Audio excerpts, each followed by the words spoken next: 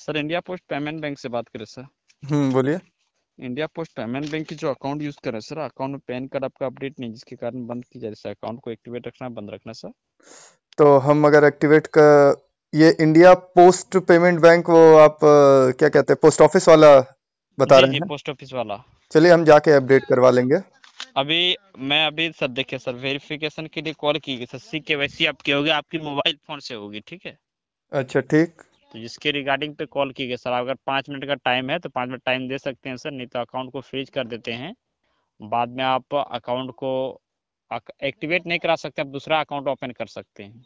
अच्छा। ठीक है। अच्छा। मैं अकाउंट को फ्रीज कर दे रहा हूँ थैंक जरा प्रोसेस समझाइए तो। हाँ सर? जरा प्रोसेस समझाइएगा कि मतलब दस का टाइम है आपके पास सर? अरे दस मिनट क्या भाई? एक घंटे का टाइम हम आपको दे देंगे। ठीक है ठीक है ठीक है सर। मोबाइल फ़ोन को प्ले स्टोर खोलिए सर अपना। हम्म।